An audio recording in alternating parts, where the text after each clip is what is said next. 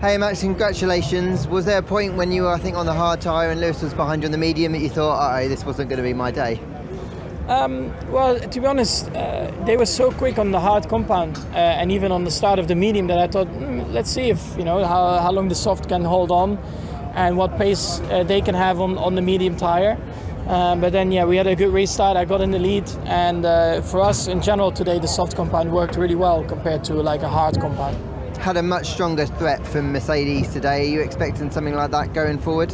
I think it's very track dependent. Uh, not every track, but I think this is also one of the tracks uh, which really suits their car, the way they have developed their car. Um, so yeah, to still be ahead, of course, it's it's very good.